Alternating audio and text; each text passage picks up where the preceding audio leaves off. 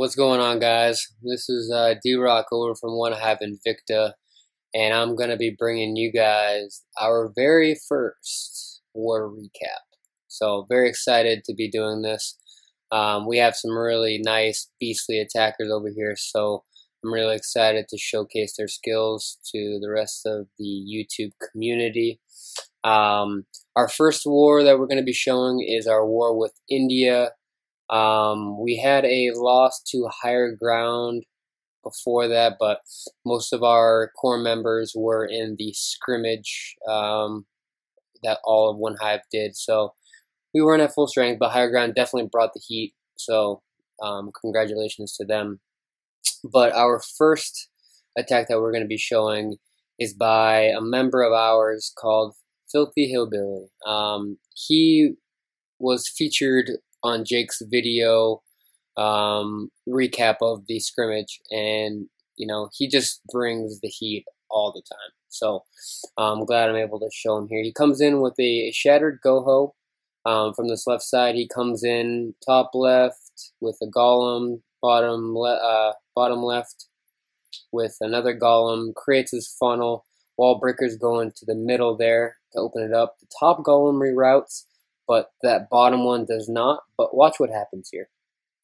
Before the update, that golem would have just continued, even though that cannon is now gone, that golem would have continued on banging against that wall. But with the new AI, it's much better.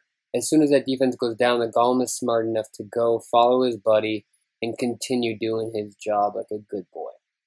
So the golems start going in. The CC comes out. He drops his poison. those wizards and witches are just crawling through there and melting. The loons soften up, and uh, he's already started bringing his surgical from top. Um, puts his heal down right there. Decent heal could have been a little bit more south because you'll see in a moment his that group of hogs ended up getting wiped out by that bomb and another bomb in the core. So actually, there's three bombs there. Um, so a little bit more south and you would have had more hogs at the end, but it ended up working out at the end. Um, he comes down with more hogs from the bottom, heals for those.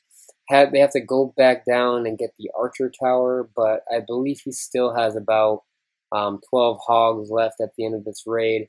Um, only an X-Bow and Tesla's left, and even his queen is tanking for them.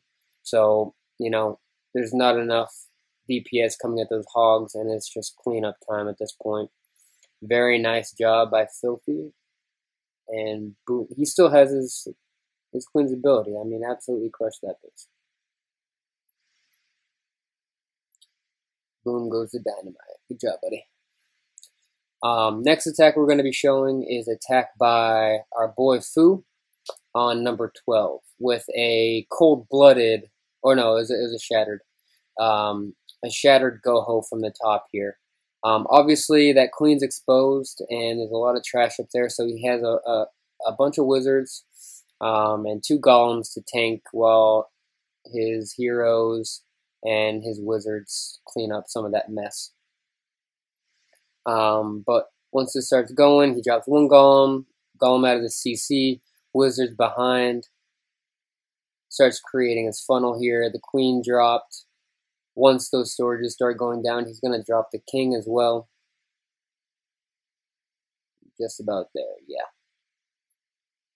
So the golems are taking a beating right now.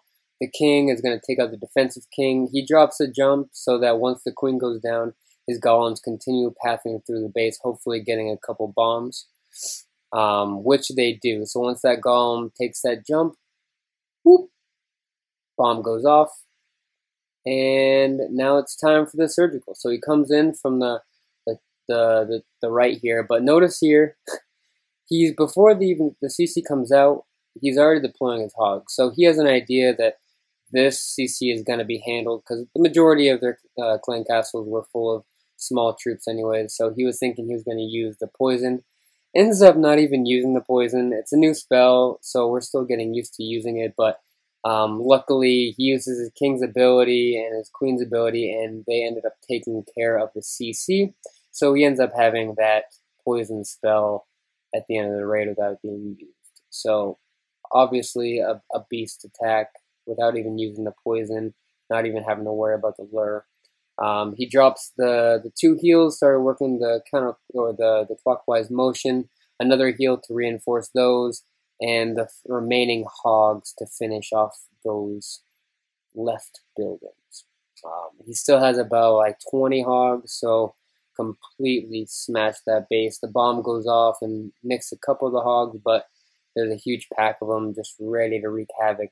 He ended up dropping a couple of his remaining wizards for clean them out the opposite side, so that's always nice to be able to do that when you can. But I'm going to fast forward here because all it is is cleanup. Boom goes the dynamite. Good job, buddy. And the last attack we're going to be showing will be from our boy Ixen, who brought a very nice cold-blooded Lalo on, what number was that? On number, was it 18? No, it was 16. So Ixen comes in. Um, before I start this, obviously this base is not the best but um, still needed to be wrecked. And Ixen did a great job at exploiting its weaknesses. But these air defenses, I know there's a new one, and people don't really know what to do with the first one still. But you do not want to have your air defenses bunched up like that. You're just being, you're waiting to be taken down by an experienced attacker. I mean, the X-Bows are down. Um, just you know, you're waiting to be wrecked basically.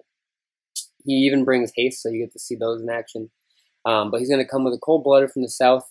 Um, one golem down. No rush to drop too many troops yet because there's not a lot of DPS taking out the golem.